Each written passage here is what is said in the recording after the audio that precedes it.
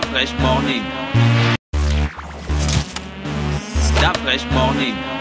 Vous êtes sur les 104.5 Urban FM, la station urbaine. On est avec Mosley. Mosley, oh, bonjour. Rebonjour Dafresh, bonjour tout le monde, bonjour Gina, Fallon. Comment va ce matin? Ça va très bien, ça va très Alors, l'actualité politique gabonaise est marquée par quoi? Oui, il y a un, qu'on dirait aujourd'hui, un, un emballement. Un emballement à la. L'amalgame. non, pas, non, pas l'amalgame. Si c'est celle l'amalgame. Il y, a, il y a un véritable emballement depuis pratiquement, on va dire quoi, hum, deux ou trois jours, notamment à la suite de la rencontre qu'il y a eu récemment entre l'ancien Premier ministre Jean Eyerendo, que tout le monde connaît de la scène politique nationale, et le président de la République Ali Bongo Ondimba, notamment le 3 juin dernier. Et puis cette rencontre, supputation, pardon, vont bon train, les discussions et les commentaires sont nourris, tout le monde va dans, euh, dans, dans tous les sens, les gens de, font même de, l'analyse, sont même dans la, la, on va dire, ils sont en train de, de, de, de devenir des, des nécro- nécromanciens pour penser ce qui euh, en découle de cette rencontre. Les gens sont en train de penser à ce, que, ce qui va arriver demain euh, par rapport à, cette rencontre, parce que vous savez que Jean Yerenon, c'est pas quand même euh, un petit acteur de la scène politique nationale. Il a été euh, en, deux- euh, en 2009, le- on va dire, il a été le dernier premier ministre d'Omar Bongo Ondimba, et qui dit Omar Bongo Ondimba parle des 40, de, de plus d'une quarantaine d'années de règne à la tête de l'État, et avoir été son, son, son dernier premier ministre, ça, allait, ça, ça donnait quand même beaucoup de charisme au- au- à Jean Hérendon au lendemain de sa mort. Vous vous souviendrez que Omar Bongo est mort à Quiron, et c'est depuis Quiron que Hérendon avait annoncé au peuple gabonais le décès d'Omar Bongo Ondimba. Et à ce titre-là, par la suite, il y a eu une situation qui a fait qu'avec l'arrivée à Ali Bongo à la tête de l'État, eh ben, Jean Hérendon s'est mis à la disposition de l'opposition a participé à la création de l'Union nationale, puis il est devenu euh, euh, euh, député, par, par la suite sénateur du deuxième arrondissement. Ensuite, il a intégré le, comité qui a accompagné Jean Ping pendant l'élection présidentielle de 2016, et par la suite, il s'est plus ou moins éloigné de l'Union nationale et de Jean Ping. Ah, et- mais également, il a perdu son mandat de sénateur. Et à ce titre-là, on voit que c'est quand même quelqu'un qui a un certain aura, notamment euh, de par son franc-parler.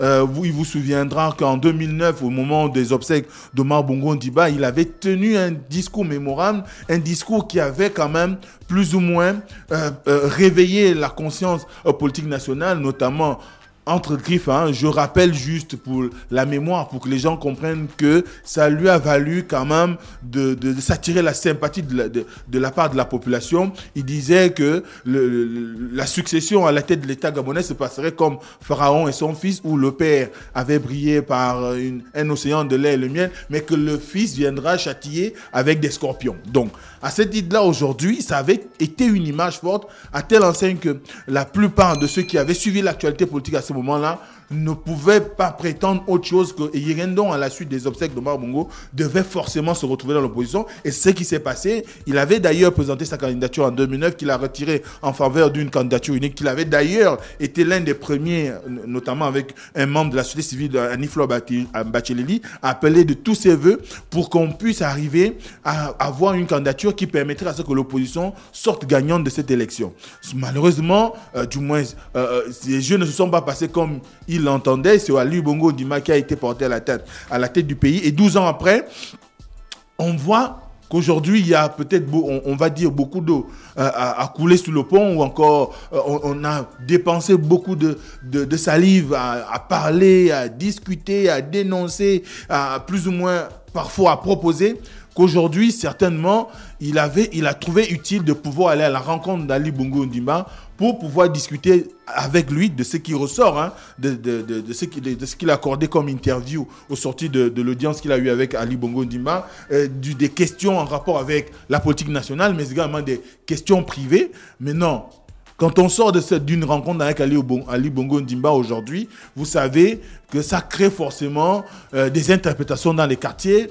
Ça laisse quand même tout le monde un peu euh, sur le qui-vive, surtout à un moment où on se demande s'il y aura bientôt un remaniement du gouvernement et surtout qu'il y a toujours et toujours encore un poste qui reste vacant depuis à peu près un peu plus d'un an, notamment le, poste de vice-président de la République, qui est très convoitisé et qui aujourd'hui suscite beaucoup d'appétit. On voit par exemple que dernièrement il y a eu la sortie par exemple de René Desmaisons, bien euh, qui a décidé en tout âme et conscience, avec armes et bagages, de repartir dans un concept qu'il appelait la fusion-absorption au Parti démocratique gabonais, avec tout ce qu'il y a comme, qui avait comme hiérarque au niveau de son parti politique, Démocratie Nouvelle. Et on se rappelle également que c'était à l'occasion d'une, c'est à la suite d'une rencontre avec Ali Bongo Ndima. Et lors de cette sortie d'audience avec le président de la République, René Desmaisons avait mis en exergue l'idée qu'il y avait nécessité aujourd'hui que les fils spirituel de Mar Bongo se retrouve et qu'il puisse à nouveau conjuguer pour construire l'avenir du Gabon.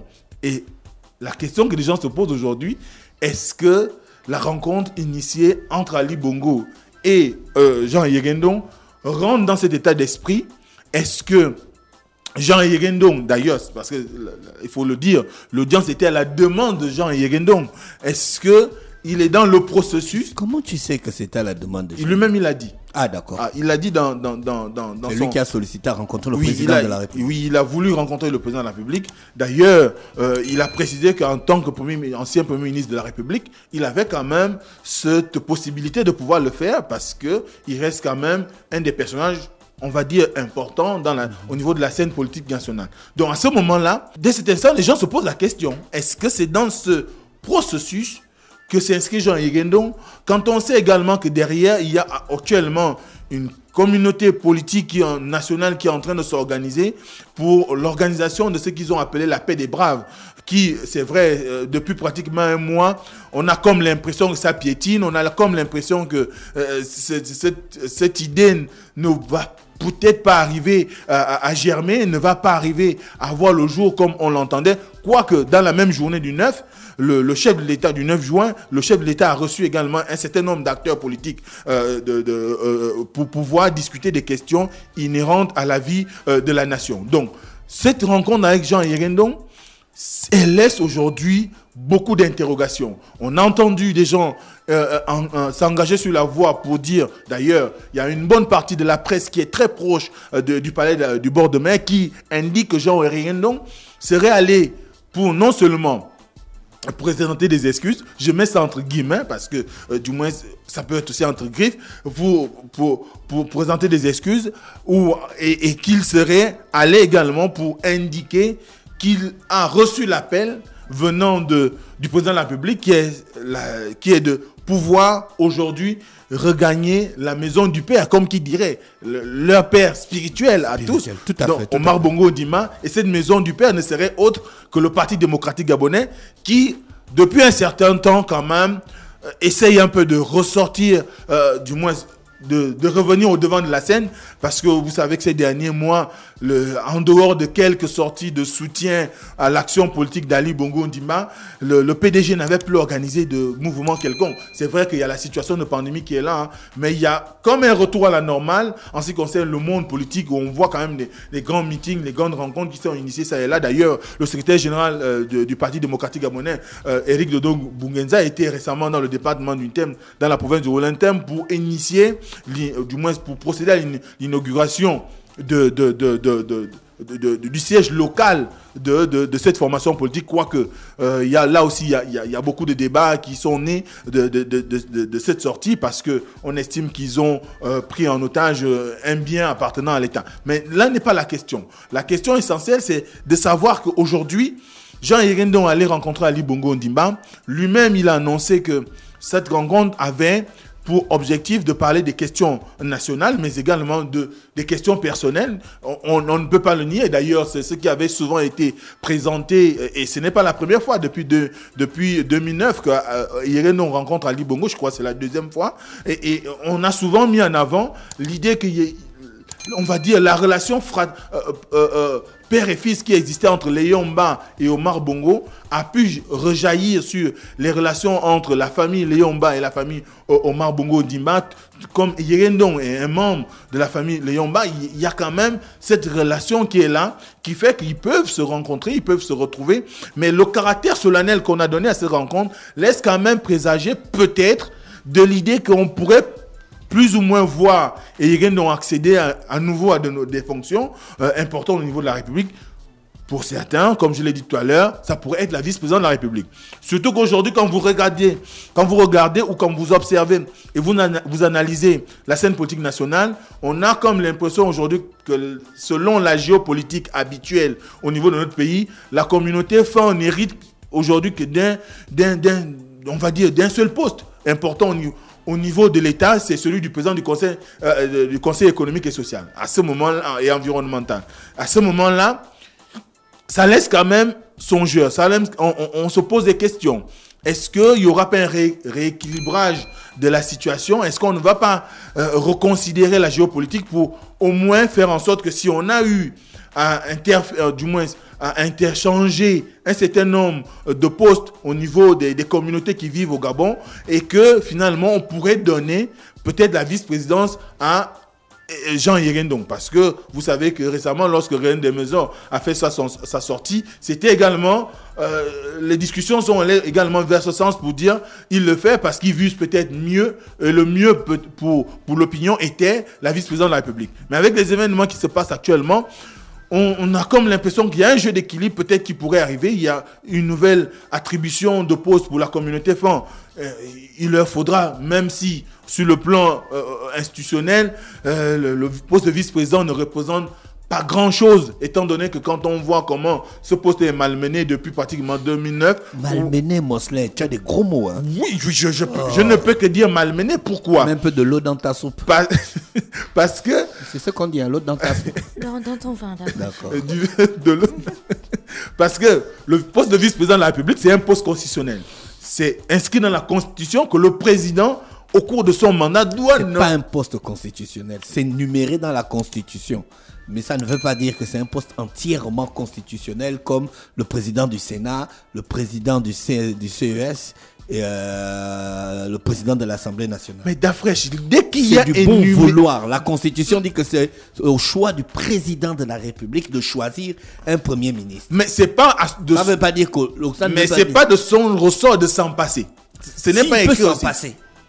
Il peut s'en passer. Constitutionnellement parlant, le président peut s'en passer d'un premier ministre parce que c'est pas d'un vice-président. D'un vice-président, c'est pas un billet double, c'est pas un billet double oui, on comprend, lors de l'élection. Oui, on comprend que c'est pas un billet, mais tant qu'il y a le président qu'on vote dans notre pays, oui, pas le président et le vice-premier ministre. On est le vice-président. on est d'accord, on est d'accord que c'est le président qui doit nommer, mais on a vu comment au premier mandat, on a fait pratiquement euh, toute la période était blanche. Hein. Il n'y avait pas de vice-président. Mhm. Et puis, on arrive au second mandat. On a un vice-président. On a un vice-président. Et, puis, il y a un scandale. Et puis, il y a un scandale. Il y a un scandale. Et, le scandale emporte. Il vaniche.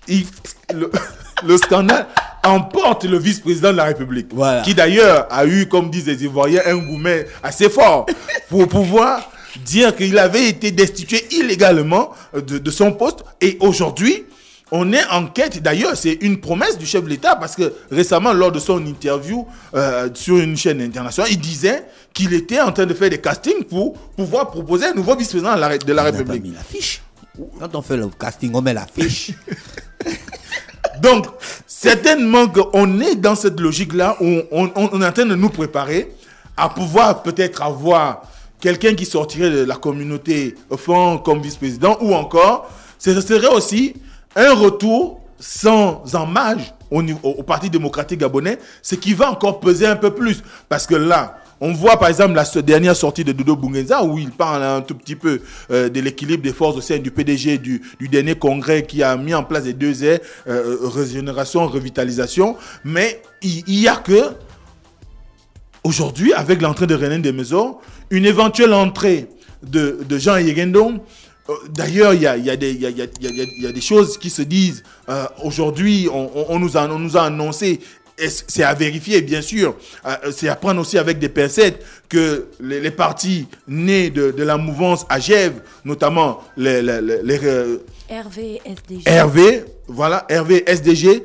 auraient également fait l'objet d'une absorption Hmm? À deux, du, du Oreille, c'est un truc que quand il y a l'absorption, c'est officiel. Bah, donc, si c'est pas officiel, non, non, pas, pas je pense. Non, j'ai C'est dans le Congo ça. J'énumère. les médias. Je n'affirme pas. Les médias en parlait hier euh, dans la revue d'actualité. J'ai lu ça. Voilà. Donc je, n'affirme pas. J'énumère. C'est pourquoi je reste au conditionnel en dire aurait également été l'objet d'une fusion-absorption de la part du Parti démocratique gabonais, ce qui va encore gonfler l'effectif parlementaire du, Parti démocratique gabonais aux, deux, dans les deux chambres du Parlement et qui va euh, encore présenter le parti comme la grande machine politique euh, sur le plan national, mais sauf qu'à l'intérieur, il va quand même avoir du mouvement. Et, là, on, on, rentre encore dans une situation où Ali Bongo devra bientôt se prononcer sur la, euh, la, possibilité de pouvoir soit organiser un nouveau congrès avec les,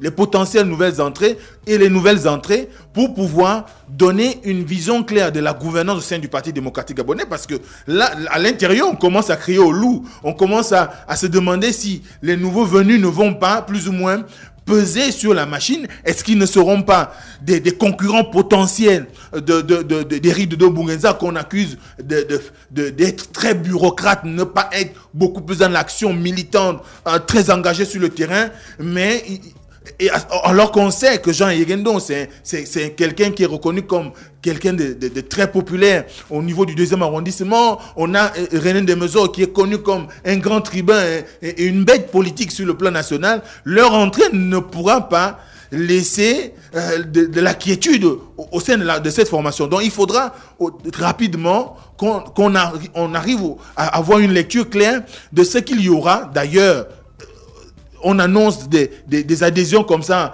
euh, euh, à, tour de bras d'ici quelques temps. On espère tout simplement que d'ici là, on aura une lecture claire de ce qu'il y a eu au sortir de la rencontre, du moins de, ce qu'Ali Bongo Ndimba et Jean Yegendon se sont dit clairement. Est-ce que ça sous-entend que Jean Yegendon claque à nouveau la porte, du moins claque désormais la porte de l'opposition? Après être éloigné, s'être éloigné de, l'Union nationale, mais également de, Jean Ping, est-ce que il va, malgré son statut, aller aussi à la vice-présidence de la République euh, comme l'a fait euh, euh, Pierre Clavin Manga Moussavou, tout en gardant son statut d'opposant. Là, la donne est là. Maintenant, il faut lire, il faut lire les, il faut, il faut être observateur. On va, on va voir ce qui va se passer dans les tout prochains jours pour savoir exactement quel était le contenu réel de cette rencontre. Mais les supputations vont, vont, vont bon train. Les commentaires sont là. On, a, on attend simplement que l'intéressé qui a demandé l'audience puisse lui faire peut-être un point de presse ou une, une, conférence de presse pour clarifier, pour dire à l'opinion ce qui s'est passé et, ce qu'il attend, de, du moins ce qui a été promis lors de cette rencontre ou ce qui a été décidé. Merci Mosley qui revenait donc sur la situation politique au Gabon euh, ce matin dans la rubrique Urban Mosley. Restez connectés sur les 104.5 Urban FM, la station urbaine dans le Da Fresh Morning. Dapresh Morning.